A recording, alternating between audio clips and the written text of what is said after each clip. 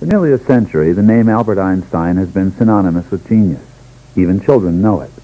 But few understand the meaning of Einstein's theories, or why his name has taken on an almost mythical significance in our culture. What is light made out of? Why doesn't the moon fall down? Why do I have to grow older? Why can't I just grow younger? Is there anything else besides the universe? When my daughter was two, I used to try to answer these questions. But now that she's five, I answer, would you like some ice cream? They're always asking why. Why? It's cute at first, but then they can get irritating. Sometimes their questions make me feel a little stupid. I guess it's because I don't know the answer. We call ourselves grown-ups, but sometimes as our bodies grow, our minds shrink from the big questions. A few philosophers and scientists have not only continued to ask the questions, they have actively sought the answers. Science is, after all, an attempt to describe the universe. At the beginning of the 20th century, a young patent clerk in Bern, Switzerland began to ask and answer some very big questions. And in doing so, changed the way we perceive the world. He also changed the world itself. His name was Albert Einstein. It's hard to believe, but true, that when he and other young men began their careers in the field of physics at the turn of the century, they were told that it was a limited field because all the great discoveries had already been made. Einstein's special theory of relativity. We're told that Newton learned a lot about the physical world when an apple fell on his head. That probably didn't happen. But the apple is a good symbol of classical physics. It's solid, and we can see it. And the perceptions of the physical universe at the end of the 19th century were the classical ones, the ones that had been formed two centuries earlier by Newton and Galileo. Their theories described, among other things, the way objects move in time and the measurements of such motions. They took into account, these theories took into account that such measurements are going to differ from one set of observers to the next. And these measurements that differ are called relative.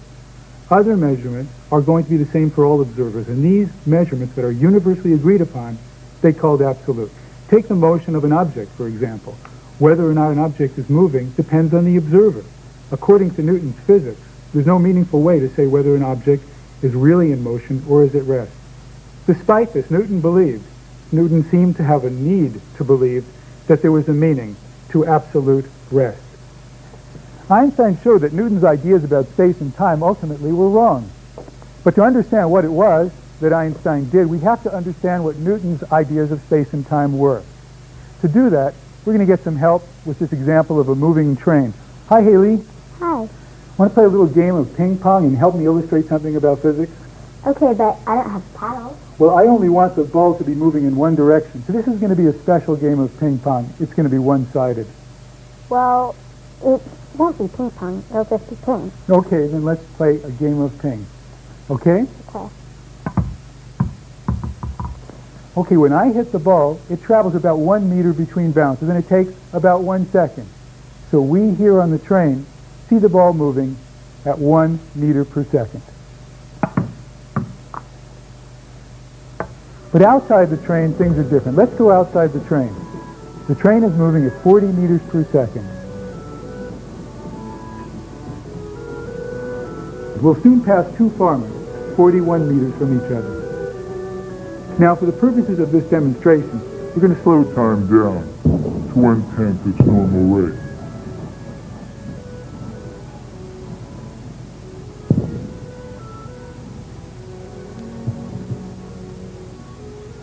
To a system of observers on the ground, the ball travels 41 meters between bounces. The distance between these two events is relative. It's different for me and for them. But the time between the two events remains one second for all of us. It's absolute. In this relativity, the relativity of Galileo and Newton, it follows that the speed of the ball is relative. Different distances, same time. This is the so-called classical viewpoint on space and time, the relativity of Galileo and Newton. The 17th century theory was still taken to be the last word in relativity at the beginning of the 20th century. And there were two reasons for its longevity. First, it worked pretty well. It gave predictions that were in agreement with the most precise measurements that could be made. Second, it just had to work. It was, after all, obvious that speeds were related the way they were in our example of ping pong balls moving in trains. But a problem, an embarrassment, arose at the end of the 19th century. It was a problem of electromagnetic waves, waves which, depending on the wavelength, we call radio waves or infrared radiation or ultraviolet rays, or most often light. It was well known that light was a wave. It had all the behaviors associated with a wave. Of course, waves must be waves in something. At the seashore, we see waves that are motions in water. When we hear the cry of seagulls, we're receiving sound waves that are motions in air. Physicists invented something which had, as its only job, to be the thing that light was a wave in. They gave it the big fancy name, the luminiferous ether. It was something that had never been observed before, and as it turned out, something that never would be observed. It was supposed to be for light, what water is for ocean waves, what air is for sound waves. If the Earth was moving through this ether, light should travel at different speeds when aimed in different directions. The American physicists Michelson and Morley, early in this century, carefully measured the speed of light sent in all directions, and they found it was always the same. Could this mean that the Earth happened to be sitting still in the ether? This was ruled out by other experiments, and the world of science was left in chaos.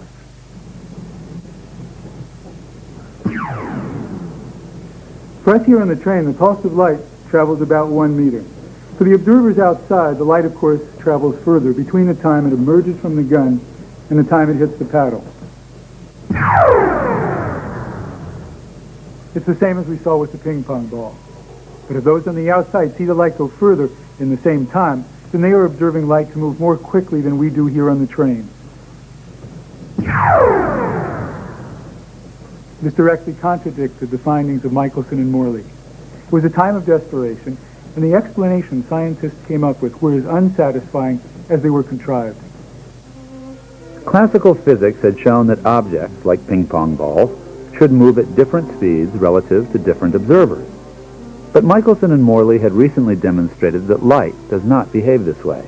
Its speed is always constant relative to every observer, no matter how fast or in what direction the observer is traveling. The world waited for someone who would see through the fiction of the ether to a new view of the universe. Albert Einstein was born in Germany in 1879, the son of a minor industrialist.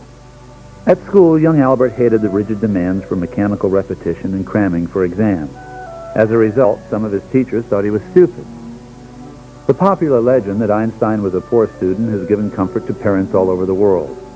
But in fact, it's not true.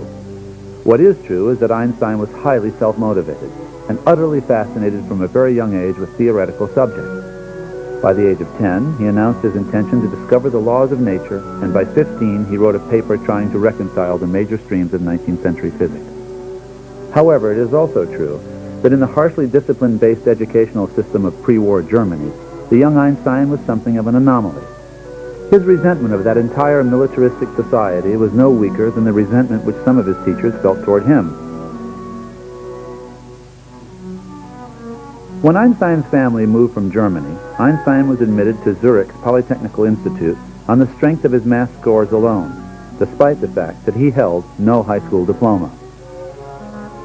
Following his graduation from the Polytechnic, Einstein was the only member of his class who was unable to secure a teaching position anywhere.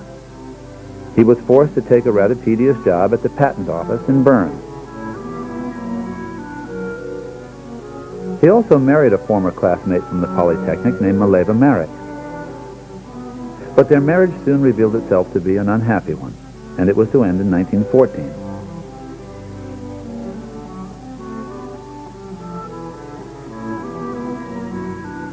While he was employed at the patent office in Bern, he formed deep friendships which would last the rest of his life. And in his spare moments, he ruminated about the enigmas of classical physics. Remember the train and those farmers? Well, it isn't really all that difficult to understand how Einstein explained the paradox of light speed. He pointed out that the observers on the outside of the train do indeed see the light pulse travel a greater distance, but they also see it take a greater time. To the farmers, the event must take longer than it did for Haley and me, because the speed of light, as Michelson and Morley had found, must remain constant. We can't have it both ways. If we want the speed of light to be absolute, to be the same for all observers, then time cannot be the same for all observers. Alone among the physicists of his day, Einstein resolved the paradox of light speed not by changing a detail of electromagnetism, the theory describing light, but by changing our view of the nature of space and time, and the consequences were very disquieting. One of the revolutionary ideas Einstein came up with in 1905 was this resolution of Michelson and Morley's findings with classical physics. Time, he said, must move at different speeds if light always moves at the same speed. This affects not only laser guns, but also everyday occurrences. The simple act of traveling on a train, for example, makes time move at a different rate for you than for people in the towns you travel through. Suppose, for example, both ping pong players smack the table with their paddles at precisely the same time in the train system. Ready, Haley? One, two, three. In the train system, the elapsed time is zero. The events are simultaneous, but not to the farmer. The farmer on the right measures the slam on his side of the table to happen slightly later. The delay is only about a half of a millionth of a billionth of a second. So it's not very important for daily schedules, but it is enormously important to a view of the way things are. It says that simultaneity is not an absolute concept. These claims about time and space are no longer controversial. They're demonstrated with high precision every day by particle accelerators, by cosmic ray detectors, and by the other instruments of today's physics. Scientists can study, for example, a subatomic particle with a half-life of a billionth of a second. That is, a particle that lives a billionth of a second when it's at rest in a laboratory. If that particle, say in the form of a very high-energy cosmic ray, shoots through the laboratory at a very high speed, it can be measured to have a lifetime as long as a full second. The mathematics of the new relativity, Einstein's relativity, was simple. It was mostly at the level of high school algebra. But to suggest this vision of the physical world required genius and audacity. It amounted to claiming that what our intuition demanded to be true of space and time was not, in fact, the way the physical world worked. Scientists would never again trust common sense as a reliable guide to what could and could not be. Common sense says that time is the same for everyone, everywhere. Einstein proved it is not. In the 1970s, two atomic clocks, incredibly precise in their time, were used to test Einstein's theory that time slows down with increased velocity. When the clock on an airplane having traveled around the world was compared with a matching clock at the starting point, the traveling clock showed an earlier time than the stationary one. When Einstein published his insights into space and time, his so-called special theory of relativity, he was unknown in the academic world. Soon his career flourished. He met the leading physicists of the day.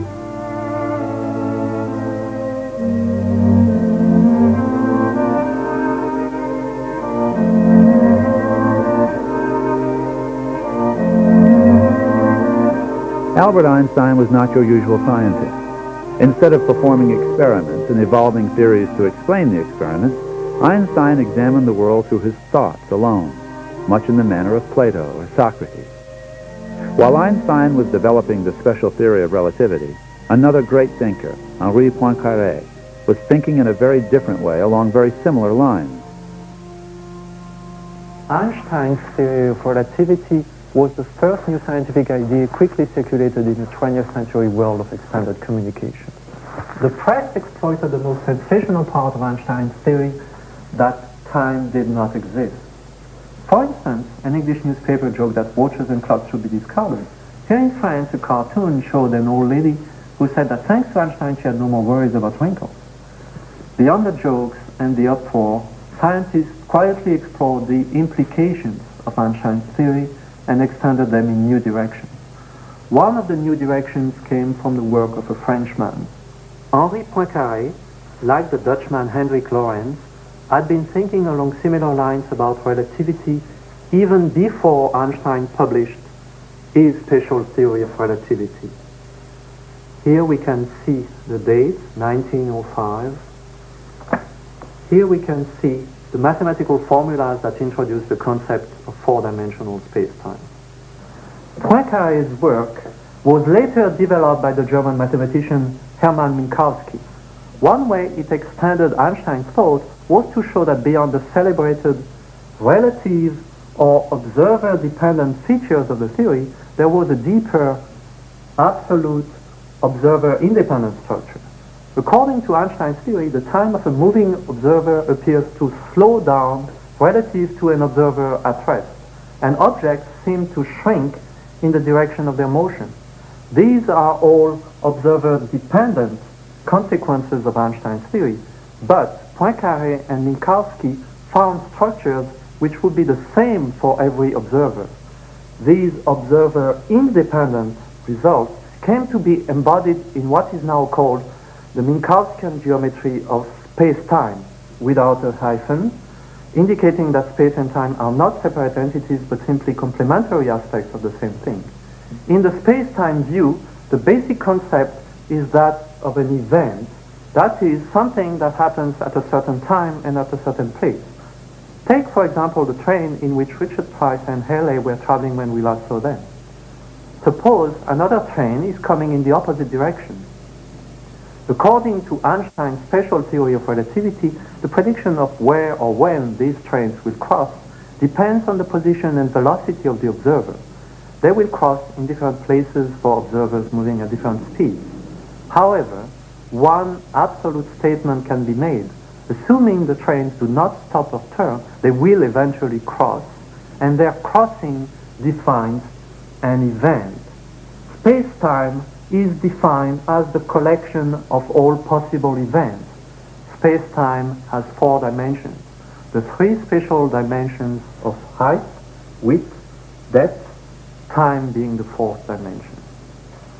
Without the work which Poincaré began as early as 1905 and which Minkowski expanded upon in 1908, Einstein would never have been able to develop the ideas put forth in his special theory into the more global general theory of relativity.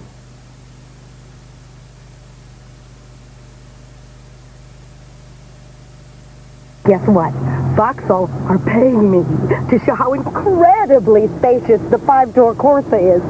Fine, I said, but we go to Beverly Hills and I call the shot. Ruby, my darling! Not now, Georgia. I'm shopping. You see, there's loads of boot space, not to mention coat, hat, and dress space. Huge. And lots of room in here. Well, I'll need some help to unpack. The Corsa from Vauxhall. The small car with the big personality. The triumph in more ways than one, eh, Henry.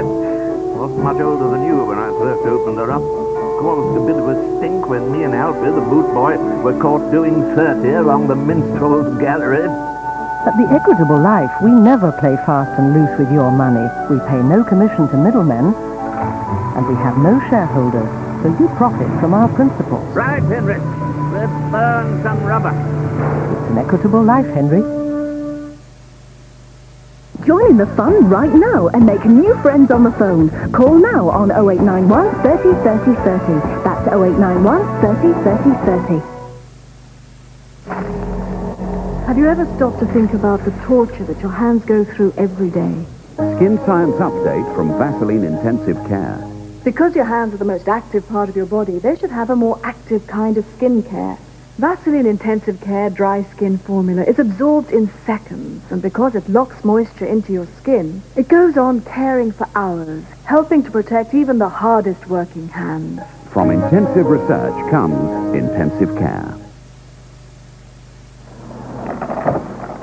Sir, what's the matter? You a bit short?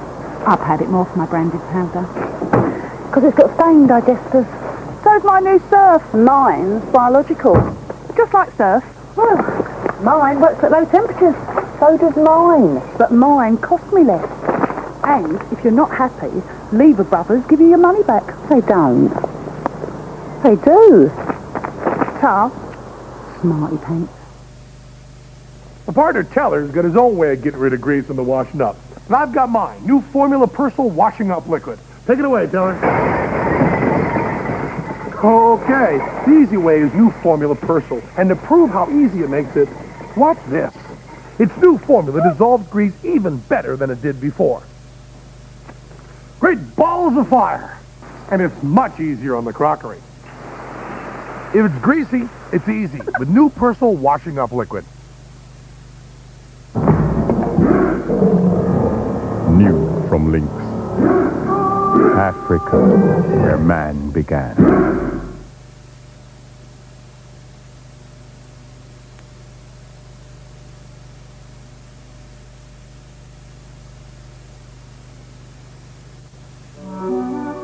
In 1913, Einstein was offered election to the Prussian Royal Academy of Sciences and a professorship in Berlin, despite opposition from the anti-Semitic and conservative members of the German scientific community. Five months after Einstein accepted the academic post and moved from Switzerland to Germany, war broke out.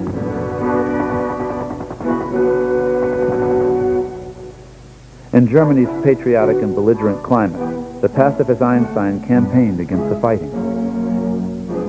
Einstein was often naive about human affairs. After the armistice in 1918 ended World War I, Einstein was convinced that militarism was a dead issue for Germany. His unceasing advocacy of pacifism made many enemies in the German scientific community. Later, Nazis would try to make him a laughingstock, calling the theory of relativity wild Jewish imagining. He was castigated for his Bolshevism in physics. In 1920, Einstein heard that his cousin, an eight-year-old girl, was disappointed not to have met him. He sent her a postcard with a description of himself. Pale face, long hair, and a tiny beginning of a porch. In addition to an awkward gait, I usually have a cigar in my mouth. But crooked legs and warts I don't have. Also no hair on my hands. So I'm quite handsome. At about the same time, Einstein described an important thought which led to another of his great theories. Einstein's general theory of relativity. In 1907, I was sitting in a chair in the patent office in Bern, and all of a sudden there occurred to me the happiest thought of my life. If a person falls freely, he will not feel his own weight. I was startled. This simple thought made a deep impression on me. It impelled me toward a theory of gravitation.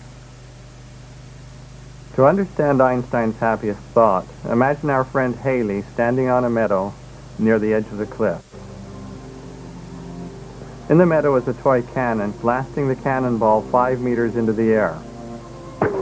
The trajectory is called a parabola. Now, a part of Einstein's happiest thought was his discovery that this trajectory is not really a parabola, it's a straight line. A straight line? That's crazy, you might say. But Einstein's apparent craziness was really a deep insight into nature. Einstein realized that the laws of physics will always look simpler to somebody who is falling than to somebody who stands with feet firmly planted on the ground. In some sense, the laws of physics prefer the viewpoint of a falling observer. They prefer Einstein's viewpoint.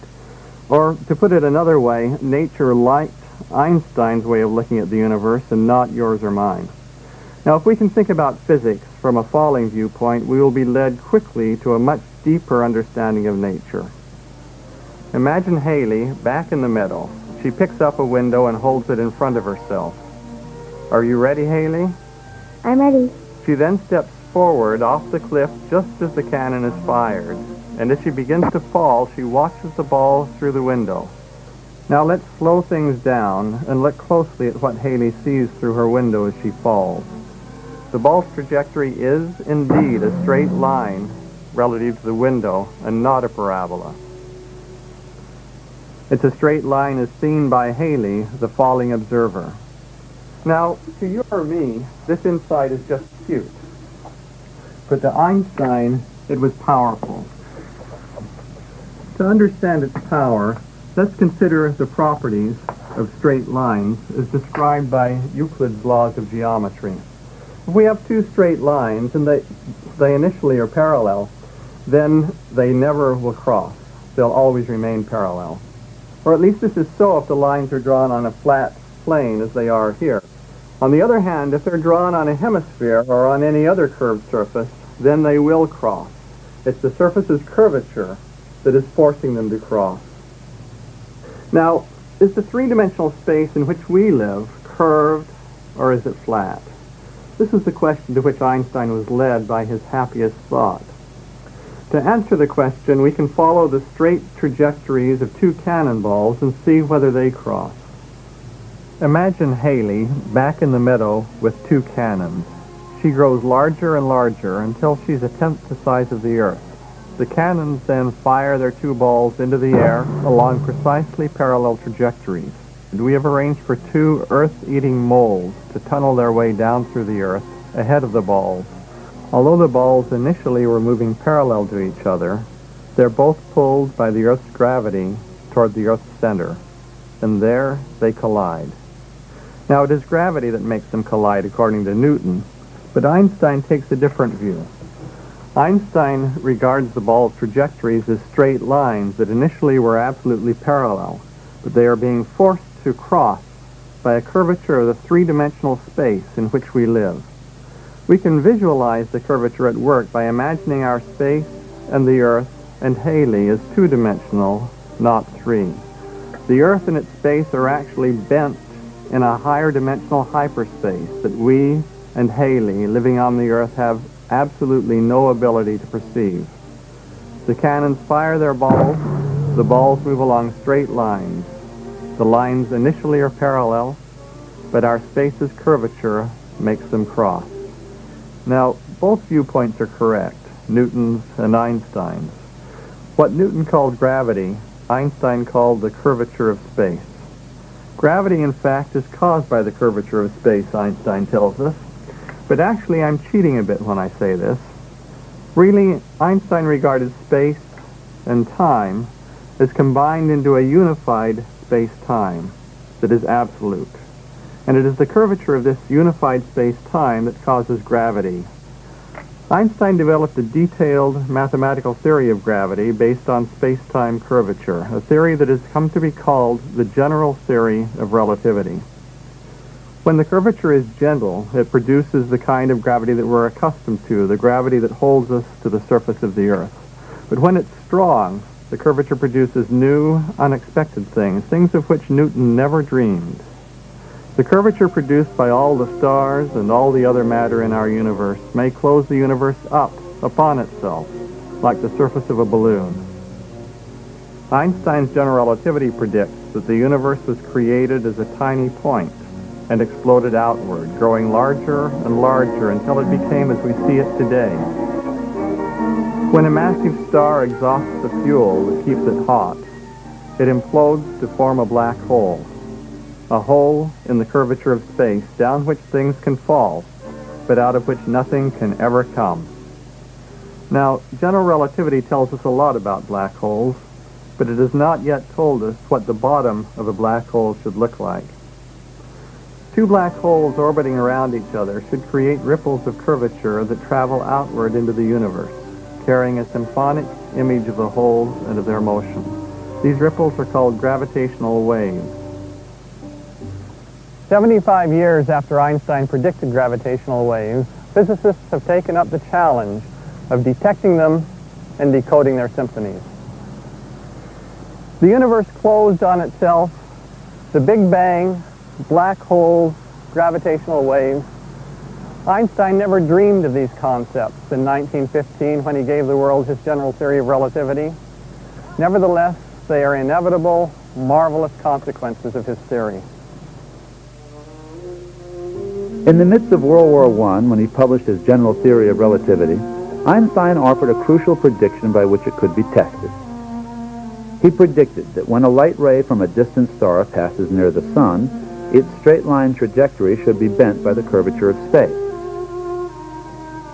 In 1919, with the war over, a team of British astronomers photographed the sky near the sun during a total solar eclipse.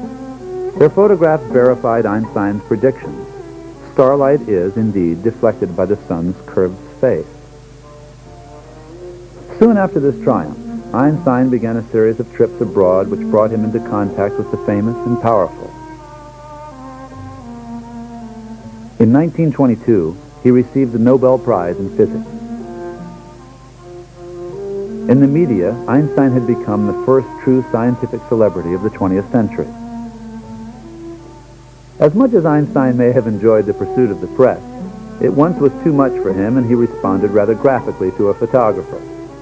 Not at all embarrassed by its widespread publication, he used it for a Christmas card. Back home in Germany, Einstein did not find a climate conducive to either scientific study or the publication of his ideas. In fact, with financial chaos, the rise of Hitler, and rabid anti-Semitism, it was time to think about living elsewhere. Although Einstein was denigrated in Berlin, he was in great demand in other European cities. During his travels to Paris and London, his lectures were so popular that one impresario offered him a three-week booking at the London Palladium.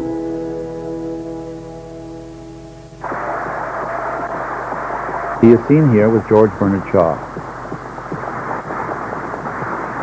Made a universe which lasted 1400 years. Newton also made a universe which has lasted 300 years. Einstein has made a universe, and I can't tell you how long that will last.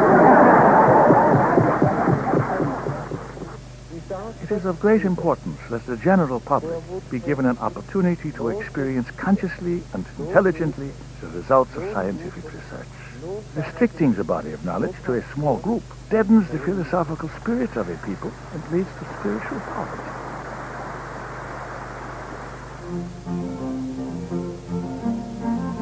Einstein came to America in 1931 with his new wife, Elsa, who would remain by his side throughout her life. The purpose of the trip was to meet with Edwin Hubble, the famous American astronomer after whom the recent space telescope was named. Hubble had published proof that ours was not the only galaxy, and that the universe was expanding, as predicted by Einstein's general relativity theory. While at Mount Wilson, Einstein heard the Belgian scientist Lemaitre detail his theory that the universe had been created by the explosion of a primeval atom and was still expanding. Einstein jumped to his feet, applauding. This is the most beautiful and satisfactory explanation of creation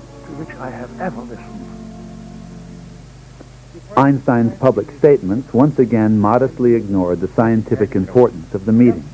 Die Hochachtung für die bedeutenden Physiker und Astronomen dieses Landes, die in den letzten Jahren der Wissenschaft so bedeutende Fortschritte gebracht haben, habe ich von Europa mitgebracht. Die Freundlichkeit, die mir hier von allen Menschen zuteil wurde, kannte keine Grenzen. Herzlichen Dank und auf Wiedersehen. Dr. Einstein and I, through Paramount News, take the opportunity to thank our many friends of the United States for the innumerable kindness they showered on us. We promise you, as that, if you want us to return, we shall do so soon.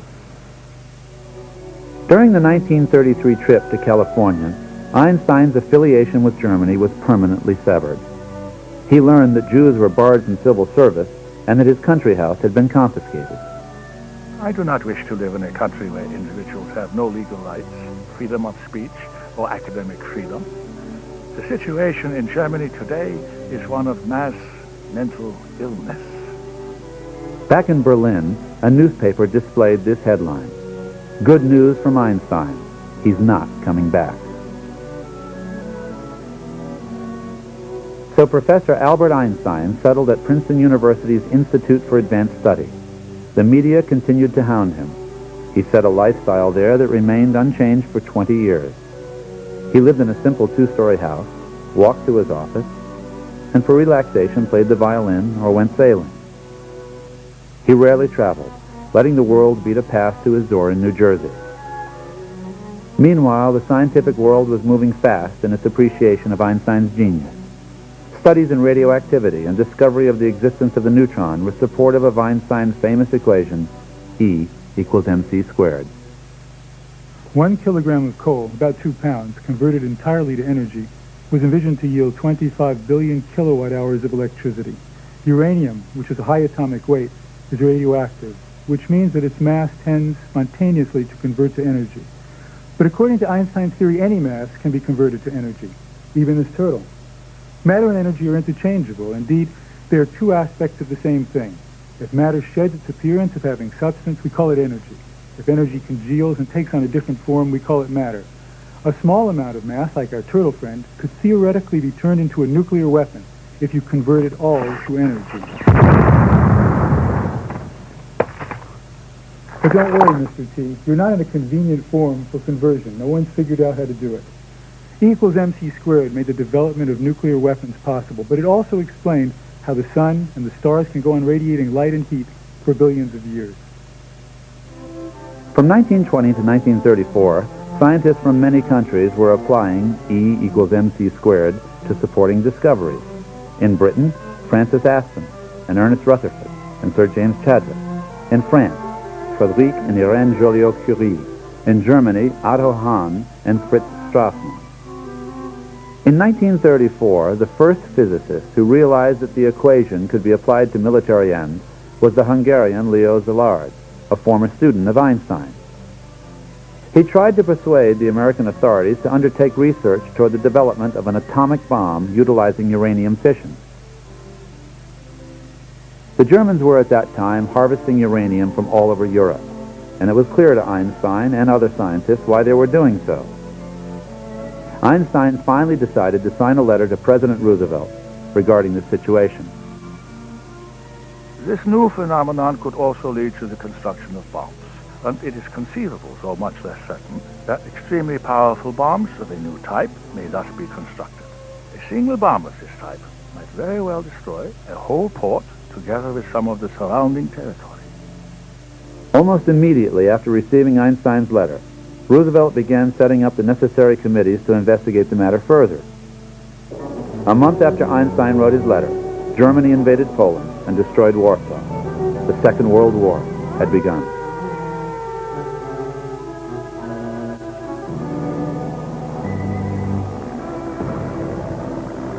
It should be stressed that from childhood, Einstein had been utterly opposed to warfare. He had, however, experienced the madness of the Nazis firsthand. Some of the greatest physicists of Germany had derided his thinking because it was not Aryan, and he had seen both his person and all of his fellow Jews threatened with extinction.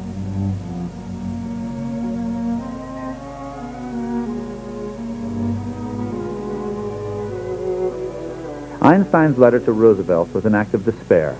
Later in the war, Einstein was opposed to the use of the bomb except as an isolated demonstration of its possible horror. He learned of the explosions over Hiroshima and Nagasaki the way the rest of the world did, over the radio. For Einstein, it was the worst news of his life. He immediately felt responsible for this terrible event. I committed a great error in my life when I signed the letter to President Roosevelt recommending the manufacture of the atomic bomb. He did not participate in the actual development of the bomb, and he did participate very prominently in opposition to further uses or development of nuclear weapons. We scientists whose tragic destiny has been to help in making the methods of annihilation more gruesome and more effective must consider it our solemn and transcendent duty to do all in our power to prevent these weapons from being used for the brutal purpose for which they are intended.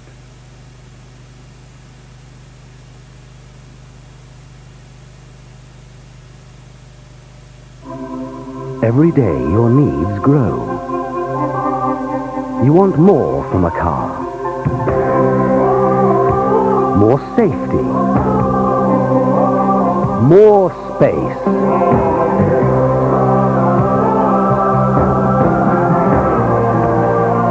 More individuality. One car gives you all this and more. Fiat Punto, the answer. Voila! Simple carrots transformed into oriental vegetables in Cantonese sauce. Only the best vegetables have the bird's eye makeover. Call Chatterbox 0891 555 000. Call now for the essential connection 0891 555 000.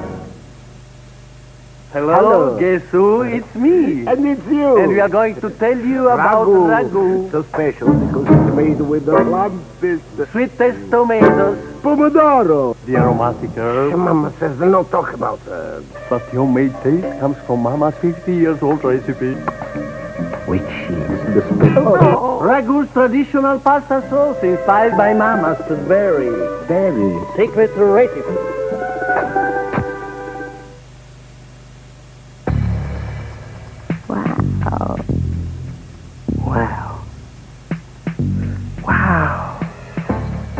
New Arm & Hammer Baking Soda Toothpaste natural cleaning power gives your whole mouth a terrific fresh from the dentist feeling of clean.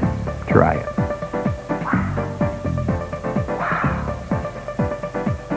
Wow it must be the baking soda. Wow. It must be new Arm & Hammer Baking Soda Toothpaste. Captain Mikos Theodopoulos, nautical traveller, had an incredible passion for Terry's chocolate oranges. However, in high seas, the chocolate orange proved somewhat difficult to handle. Then, on one inspired day, Mikos hit upon a novel idea. He laid the segments of the orange out flat, thus solving the problem. The chocolate orange bar was born. Six segments of Terry's chocolate blended with real orange, which is now enjoyed by travellers all over Britain today. Chocolate orange bar. Another ridiculously good chocolate from Terry's.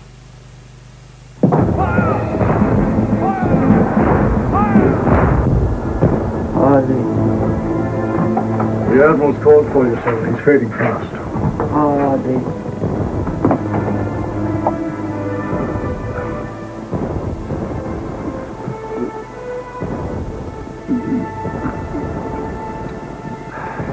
better ring the Royal. For all types of insurance, for all kinds of mishaps, you'd better ring the Royal.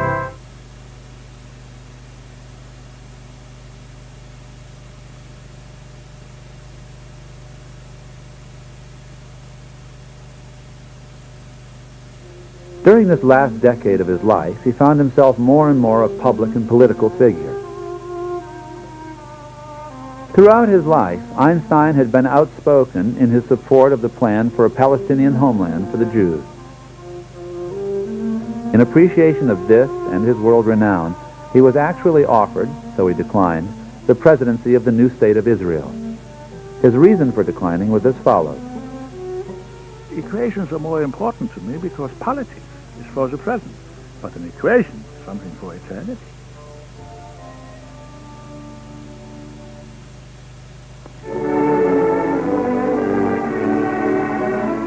Dr. Albert Einstein is dead at 76.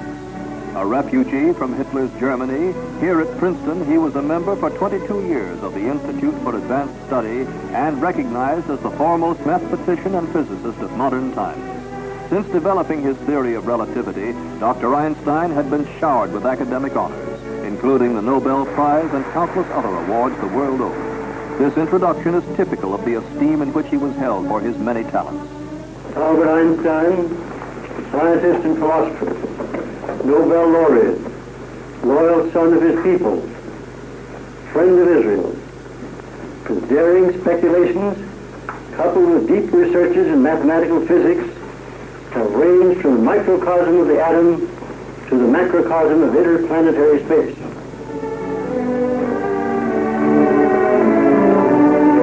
A devoted apostle of peace in the atomic age his calculations helped bring about, Dr. Einstein was a friend of the world's great. Men like India's Prime Minister Nehru were among the leaders and statesmen who considered it an honor to visit him. Shy and retiring personally, his genius has revolutionized man's concept of the universe.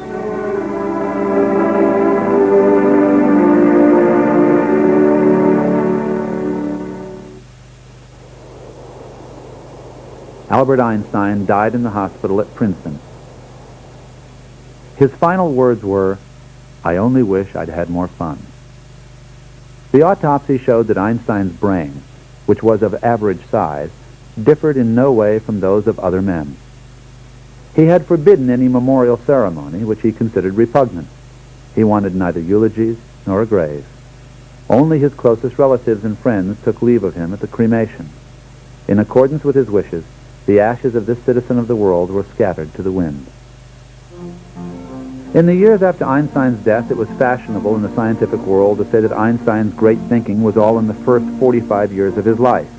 and that he wasted his later years looking for a unity in the cosmos. In his later work, he avoided making use of quantum mechanics, even though Einstein had originally nurtured this theory.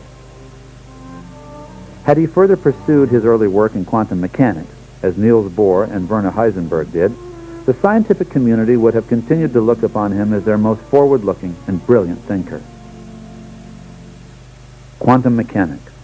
In 1905, the very same year that Einstein perfected our understanding of light with his special theory of relativity, he also set in motion a spectacular attack on that understanding with the absolutely outrageous suggestion that light could carry energy only in small packages. When I shine light on this solar cell that powers the toy helicopter, the rotor starts turning. The light is kicking around electrons inside the cell. And it's the energy the electrons get from the kicks that powers the helicopter. The fact that light can kick electrons around like this was only discovered at the very end of the 19th century. Explaining it was one of the few remaining unsolved puzzles about light. In his 1905 paper, Einstein explained this photoelectric effect with a shocking generalization of an idea Max Planck had come up with in 1900 in his own desperate attempt to deal with some glaring inconsistencies in the theory of heat.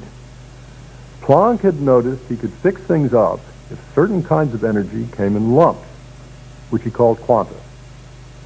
But nobody, including Planck himself, really knew what to do with this until Einstein realized that by boldly extending Planck's notion to make light itself lumpy, he could account for the photoelectric effect. It wasn't until 1915, 10 years after his proposal, that experiments unambiguously showed that Einstein's idea about light quanta was absolutely right. Einstein won the Nobel Prize in 1922 for using light quanta to explain the photoelectric effect, not for relativity. Although his name will always be linked with relativity, the fact is that if Einstein had never written a word about relativity, his pioneering role in quantum physics would have marked him as one of the greatest physicists in history. After launching the quantum revolution, Einstein remained an active participant. He was an inspirational and authoritative figure in the 20 years of turmoil that followed. In 1925, Niels Bohr, Werner Heisenberg, and others put together the final form of the theory, called quantum mechanics. At that point, Einstein developed serious misgivings.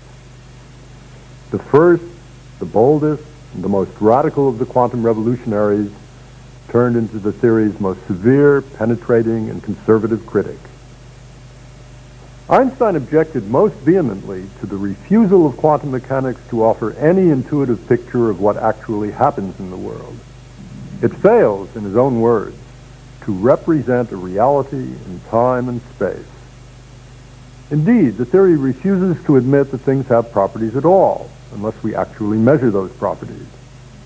Ordinarily, when you want to see something, you shine light on it. In doing this, you ever so slightly disturb what you're looking at, because light exerts a very gentle pressure. But this pressure is so tiny that something as big as this rose is hardly affected at all. Suppose, though, we were looking at a much more delicate flower, like this wispy chrysanthemum. If something is delicate enough, shining light on it will disturb it, so it's impossible to learn what it was like when undisturbed. We can try to deal with this by making the light dimmer. Of course, as what we're studying gets more and more delicate, the light has to be made even dimmer. Before Einstein came up with light quanta, everybody just assumed that you could always make the light dim enough to make this disturbance completely unimportant. Einstein, however, pointed out that light is lumpy. It comes in quanta. I can illustrate the consequences with this strobe light. Ordinary light contains so many tiny quanta that you can't tell the light is lumpy at all. But when you make the light dimmer, what you're doing is reducing the number of light quanta without reducing the strength of each individual quantum. Eventually, you reach a point where the light stops appearing dimmer, and you realize that what's really happening is that the individual quanta are simply coming less and less often. So as the light gets weaker, you don't reduce the disturbance. It just happens less often. Whenever you actually manage to see the flower, it's being shaken up in the same old way. The only way you can be sure not to disturb what you're looking at is to make sure that no quanta hit it at all. And you can only do that by turning off the light completely. But with the light completely off, you can't do any observing at all. So at the atomic level, the mere act of observation unavoidably disturbs the object you're trying to study. You can then legitimately ask whether it really makes sense to say that an object has properties, such as speed, shape, or location, when the only way you can find out about these properties forces the object to change its speed, take on a new shape, or move to a different location. This is the idea behind Heisenberg's famous uncertainty principle. But for a theory to be acceptable to Einstein, it had to describe things that had properties, whether or not we insignificant humans tried to find out what they were. He asked one quantum physicist, you really believe that the moon exists only when you look at it? Though Einstein may have regarded quantum mechanics as intellectually disreputable, he would surely have agreed that in practical terms, the theory he nurtured and later attacked is successful on a scale unprecedented in the history of science. It underlies microelectronics and microbiology. It's the foundation on which modern chemistry rests. It explains how the stars burn and how the early universe evolved. And although few physicists today would go along with Einstein's philosophical objections to the quantum theory, almost all would agree that bringing general relativity and the quantum together into a harmonious whole is one of the great unfinished tasks of science. Einstein's lifelong search was for order in the universe. His mind sought to penetrate to the very remotest reaches of space and time, to the dawn of creation, to the shape of the universe itself. He pondered the largest, most universal forces and entities, gravity, mass, energy, light, as well as the almost inconceivably insubstantial ones, the quantum, the motions of atoms and molecules, the photoelectric effect. In his mind, science, philosophy, and even religion found a fertile common ground. How much choice did God have in constructing the universe? Today, some 40 years after Einstein's death, other physicists following in his footsteps are beginning to catch glimpses of how the universe began. What came before the Big Bang, they ask, and from tentative marriages of Einstein's general relativity laws with the laws of quantum mechanics, there come tentative answers. There was no before, because before the Big Bang there was no time, and without a concept of time, before makes no sense. That's one of the answers. Time and space were created from something more fundamental near the beginning of the universe, is another answer. But from what? The laws only give hints. And the struggle to understand goes on. The struggle that may bring new insights as great as Einstein's, but without the keys that Einstein gave us, there would be no hope ever to understand. If Einstein hadn't discovered the laws of special relativity, then Poincaré or Lorentz would have done so in fairly short order. And if Einstein hadn't laid the foundations for quantum theory, then Bohr or Planck or Heisenberg would have done it within 10 years. But general relativity was different. It was uniquely Einstein's. Without Einstein, the world would have waited for many decades for somebody else to realize that gravity is caused by space-time curvature. Indeed, it was general relativity, above all, that made Einstein famous, and his fame was well-deserved. In the whole history of physics, just two names stand out above all others. Isaac Newton, Albert Einstein, and all the rest were lesser intellects. Albert Einstein dreamed of things that were beyond common experience. His great theories of relativity were illustrated by examples that often dazzled or confounded most people, even many scientists. For Einstein, more than any other thinker, questioned our most basic assumptions about the nature of the world we inhabit. But as he unlocked the mysteries of the universe for himself, he found it was like a set of nesting boxes. He found more mysteries. In 1932, he made a spoken record for the League of Human Rights. He called it My Credo. Das schönste und tiefste, was der Mensch erleben kann, ist das Gefühl, The most beautiful and deepest experience a man can have is the sense of the mysterious. It is the underlying principle of religion as well as of all serious endeavor in art and science. He who never had this experience seems to me, if not dead, then at least blind. To sense that behind anything that can be experienced, there is a something that our minds cannot grasp, whose beauty and sublimity reaches us only indirectly. This is religiousness. In this sense, I am religious. To me, it suffices to wonder at these secrets, and to attempt humbly to grasp with my mind a mere image of the lofty structure of all there is. in Demut geistig zu erfassen.